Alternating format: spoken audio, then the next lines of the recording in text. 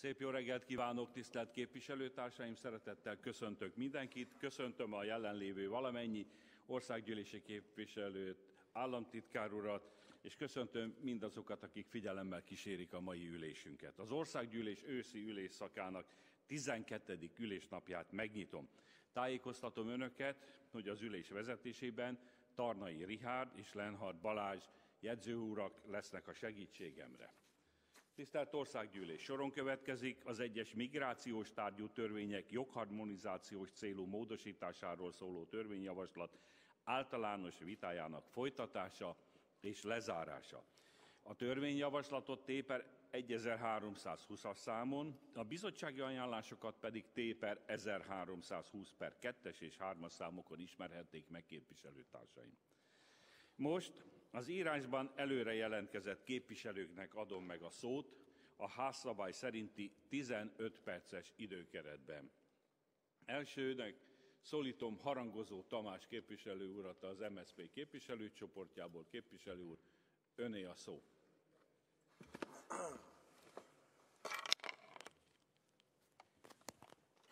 Elnézést, köszönöm szépen.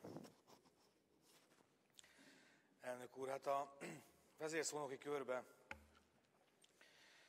azt hiszem, hogy a törvény legfontosabb vitás pontjairól már szóltunk szót, és hát volt lehetőségünk azóta élő televíziós műsorban is vitatkozni erről a törvényről, bár igen rövid időkeretben.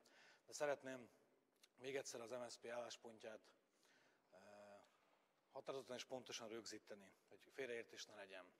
Hiszen ebből ki fog derülni, amit múltkor is beszéltünk, hogy nagyon sok pontban a törvény célját tekintve bizonyára egyet tudunk érteni, akár a kormánypárttal is, kormánypártokkal is, de a szabályozásnak egy csomó olyan része van, amiről muszáj lesz majd leginkább a részletes vitában pontosan szót ejteni. Szóval a Magyar Szocialista Párt abszolút egyetért azzal, hogy az államnak meg kell védeni az állampolgárait. Egyetért azzal, hogy biztosítania kell a védelmét minden tisztességes magyar állampolgárnak, akár a nem ilyen szándéka hazánkba érkező külföldiekkel szembe is. Azt is megértjük, hogy ehhez akár a mostaninál szélesebb eszköztára is szüksége lehet a hatóságoknak, az államnak. De mint azt elmondtuk, ez a törvény ennél egyrészt jóval tovább megy, másrészt pedig maguk a szabályozás részleteiben kifejezetten rossz megoldásokat vagy alkalmatlan eszközöket használ, amiket megítélésünk szerint ki kell majd javítani. De azért van egy-két olyan pontja a törvénynek, amelyiknél az ilyen barátságos hang nem, azt hiszem, hogy nem megengedhető és, és kevés. Az egyik feltétlenül ilyen, amikor a kiskorúakat és így a családoknak a idegenrendészeti őrizetét teszi lehetővé. Nagyon képletesen és egyszerűen akarok fogalmazni, akkor gyermekeket és családoknak a tömlőcbe vetését teszi lehetővé. Értjük, még egyszer mondom, értjük, hogy a 30-40 százaléka a, így a hazánkba érkező menekülteknek kivonja magát az eljárás alól és más országa megy. De akkor tessék megtalálni az eszközt arra, hogy ezt a 30-40 százalékot ne tudja kivonni magát az eljárás alól. Abban biztosak vagyunk, hogy ennek nem az az eszköze, hogy teljes általános felhatalmazással, például kiterjeszte, mondom még egyszer a kiskorúakra ezt a szabályt behozza. A vitában a kormánypárti, már televíziós vitában a kormánypárti képviselőnk ilyenkor visszakérdezett, hogy miért akkor szétszakítsuk el a családot.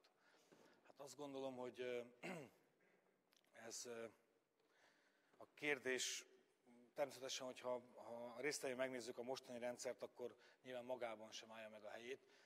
Hát ezeknek a családoknak azokban a menekültáborokban, illetve olyan típusú elhelyezésre van egyébként is helyük, ahol családként együtt a gyermekeknek a fejlődéséről, oktatásáról gondoskodva lehet ö, ö, gondoskodni. Azt gondolom, hogy a, e tekintetben, akármilyen fontos is a cél, az az idegenrendészeti őrizet, ami egyébként körülbelül fegyház körülményeket jelent itt ma Magyarországon, konkrétan az életben. És értem azt, hogy az államnak egyébként lehetne dolga az, hogy ezek a körülmények változanak, de valljuk be őszintén egymásnak, Nézek itt egyértelműen a kormány képviselőre, azért ennek a törvény hatályba lépésével egyidejűleg nem sok esélye van, meg valószínűleg következő években sem. Ez a szabály elvi szinten is teljesen elutasítandó. Ilyen hasonló, szerintünk átgondolatlan szabályozás még ugye a névházasság. Nagyon örülnénk neki, hogyha majd részletes vitával tudnánk erről beszélni, és akár a kormánypárt, vagy a kormány maga elfogadná azt a megoldást, hogy támogatva azt, hogy ezeket kiszűrjük, támogatva azt, hogy a joggal visszaélőket ebbe az országba megbüntethessük, illetve az ő ilyen típusú tevékenységük a jogkövetkezményét visszavonjuk, de azt szeretnénk jelezni, hogy ez a megoldás, ami a törvényben van, ez teljesen rossz, elfogadhatatlan, és nem is fog működni. Tehát az a, ha már analógiát kell hozni, azt szeretnénk kérni, hogy ne az adójogszabályokból, ne is az állatkerti házirendből, vagy nem tudom, hogy honnan kívánjanak hozni analógiát ilyen típusú ügyekre, amit mondjuk házastársi szándékot szeretne megállapítani hatósági jogkörben, hanem azt a környezettanulmányt, ami egyébként az élet sok más területén, és egyébként az önkormányzati igazgatásban is az egyetlen bevált és valódi megoldás arra, hogy ilyen életviszonyokat, aznak a fennálltát vizsgálni lehessen, és tényszerűen vizsgálni lehessen. Erre kiválóan alkalmas, mi azt javasoljuk, és ezt beadtuk írásba is, hogy ezzel a megoldással vizsgáljuk, ha egy mód van rá. Pont ugyanilyen problémát okoz egyébként a törvényben, szerintünk majd a gyakorlatban, de, de majd a kormány, hogyha tud erre válaszolni, nagyon kíváncsi lennénk. A külföldiek, hazánkba érkező tanulás szándékával ideérkező külföldiek nyelv, ismer, magyar nyelv ismeretének a problematikája, ami ugye elég lakonikusan ennyi van a törvényben erről, biztos akkor majd valami széles végrehajtási rendelet fog erről kijönni, hogy akkor mégis mit kell tudniuk az ABC-t, vagy folyékonyan kell magyarul beszélni, hogy ki fogja ezt egyáltalán megítélni. És hát leginkább mi lesz például azokkal, akik, akik ne adj Isten tényleg azért jönnek hazánkba, hogy, hogy magyarul tanuljanak. Tehát, hogy az ő magyar nyelv ismeretüket, mint az itt tartózkodás feltételét, akkor hogyan fogja rendezni akár a törvény, akár mondjuk egy végrehajtási rendelet. Egyébként számos előremutató rendelkezés van a törvényben, ezt elmondtuk. Szintén a, nyilván az Európai Uniós jogharmonizációt is teljesíti, de szerintünk a biztonság szempontjából is előremutató a, a ulyanyomatos okmányok bevezetése, és az is, hogy végre megfelelő időt szán a kormány annak, hogy ezt be is lehessen valóban vezetni. Hiszen amikor manapság egy nap alatt fogadunk el törvényeket, egy nap alatt alakítunk át társadalombiztosítási rendszereket, és ahogy nézem, napokon, napok alatt fogunk fel, napok alatt fogja ez a parlament felszámolni a következő hetekben a magyar demokrácia alapjait, akkor ez egy üdítő kivétel, hogy a belügyminisztérium és a kormánynak legalább van olyan része, amelyik ilyen tekintetben az európai normákhoz egy kicsit is igazodik. Összegezve azt szeretnénk még egyszer elmondani, hogy a törvény, ez egy nagyon nagy terjedelmű törvény természetesen annak a jó része és a technikai szabályok jó részével, a jogharmonizációs szabályok jó részével egyetértünk. Alapjaiban nem értünk azonban egyet azokkal a konkrét szigorítási megoldásokkal, amik a törvényben vannak, hiszen azon túl, hogy a társadalmi igénye az, hogy rend legyen az országban, azon túl, hogy valóban van racionális elvi oka annak, hogy, hogy az ország szigorúan kezelje ezt a problémát.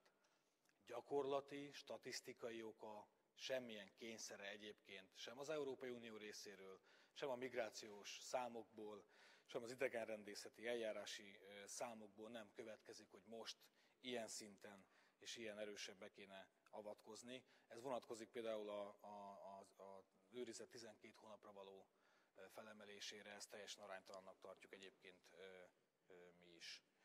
Összegezve még egyszer azt szeretném mondani, hogy a részletes vitában, ha ezekre a megoldásokra, ezekre a kérdésekre találunk megoldást, azért azt szeretném mondani, hogy ez a gyermek és családok idegenrendészeti fogsága például olyan téma, ami egymagában megszavazhatatlanná teszi ezt a törvényt számunkra, tehát vannak olyan részek, amiket csak akkor tudunk elfogadni, hogyha kikerülnek a törvényből. Van egy jó olyan rész, amit igyekeztünk jó szándékú módosítóval módosít, módosítóval jobb megoldás felé terelni, ha ezeket meg tudjuk, ezekben meg tudunk állapodni részletes vitában, és a kormány ebbe partner lesz, akkor akár lehet támogatni, és ezt a törvényt, de mondom még egyszer, a sarkalatos kérdéseknek akkor ki kell kerülnie ebből a törvényből. Nagyon szépen köszönöm, hogy meghallgattam.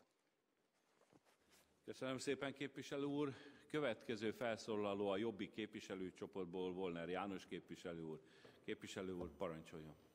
Köszönöm szépen, elnök úr. A múltkor ugye a vita el lett napolva, és néhány dolog azért bennünk maradt, amit időhiányában nem tudtunk elmondani, illetve hasznosnak és fontosnak tartanánk, ha azt az alapvetően értékrendi alapú vitát és azt a szakmai vitát, ami itt kezdett kibontakozni, azt tovább folytatnánk, illetve most ezúton is szeretném kontráturat a belügyminisztérium államtitkárát megkérni arra, hogy ön is, ha lehetséges ez, és a házszabály megengedi a részére természetesen, kapcsolódjon be arra kérjük, hiszen a részünkről jó néhány olyan szakmai jellegű felvetés is érkezett, jó pár módosító javaslatot is benyújtottunk a törvényhez, én nem is tudom, személy szerint talán vagy 20 is benyújtottam, hogy elfogadható formába tegyük ezt, és szeretném államtitkár urat is megkérni arra, hogy az eddig elhangzottakra, akár a múltkori ülésen, ami elhangzik, akár a mostani nedere is, akkor reflektálni legyen kedves.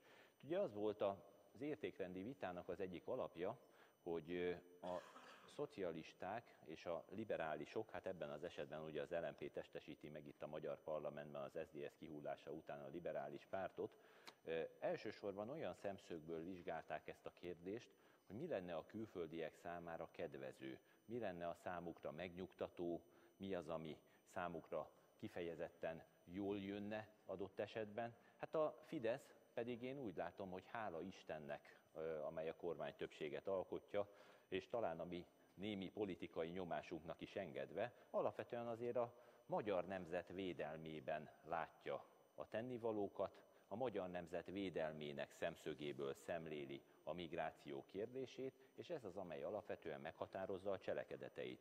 Jellemző, hogyha most bele, belegondol államtitkár úr ön is, az eddigi támadások, az eddigi kifogások, amelyeket megfogalmaztak a szocialisták vagy a liberálisok itt a parlamentben, azok jellemzően igyekeztek kitágítani a külföldi állampolgárok mozgásterét, a felettük gyakorolt magyar hatósági kontroll lehetőségeit pedig igyekeztek különböző szempontokra való hivatkozással egyre inkább beszűkíteni. Gyakorlatilag egy olyan törekvésnek lehetünk szemtanúi, hogy megpróbálják a belügyminisztériumot rávenni az ellenzéki pártok képviselőit, kivéve természetesen a jobbikot, hogy mintha arra köteleznék, hogy vágja le a saját félkezét, oldja meg valahogy ezeket a problémákat. Igaz, hogy 40%-a a menedékjogot kérő külföldieknek kivonja magát a hatósági eljárás hatája alól, eltávozik Magyarországról. Nagyon sokszor Magyarországot a fennálló tolonc egyezmények értelmében nagyon komoly pénz